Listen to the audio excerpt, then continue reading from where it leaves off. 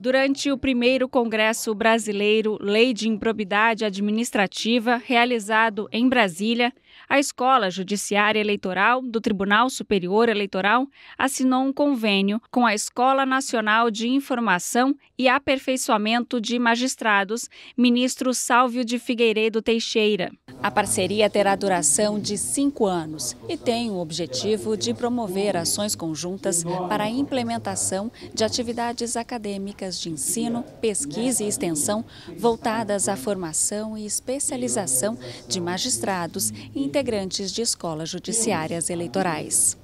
A cooperação inclui o intercâmbio de informações e de pesquisadores para o desenvolvimento de projetos e programas de aperfeiçoamento científico. O convênio prevê também a disponibilização de condições e de infraestrutura necessária para a realização das atividades.